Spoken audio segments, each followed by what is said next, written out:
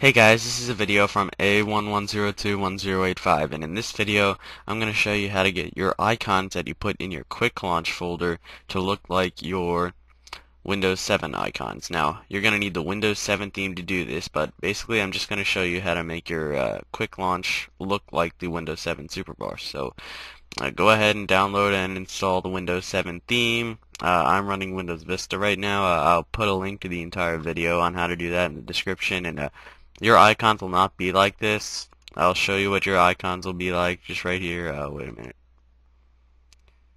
Oh, good. Okay, here we go. So, uh, when you open up a quick launch, as soon as you install a theme, it should come up and it should look like this. All the icons are all small like this. Now, how do you change them to look big like they were before? Simple, just go into the taskbar and make sure it's unlocked, by the way.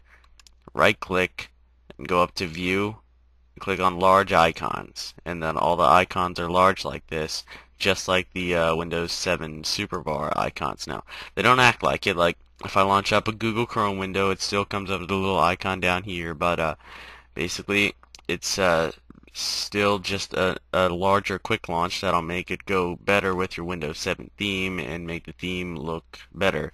And it's so you can get a Windows 7 like superbar in Windows Vista without any downloads. Like uh, before I showed you guys a download that replaced the taskbar with bigger icons and that made them shortcuts, but uh, this is so you don't waste up any space and it's just uh, nice, smooth looking and it makes you free up your desktop space. So anyway, that's how you do it. Just uh, make sure the taskbar is unlocked and uh, go up to view and make sure yours is clicked on large icons because normally by default it's small icons but make sure it's large icons. So anyway uh, that has just been a quick tip from A11021085 thanks for watching and I'll see ya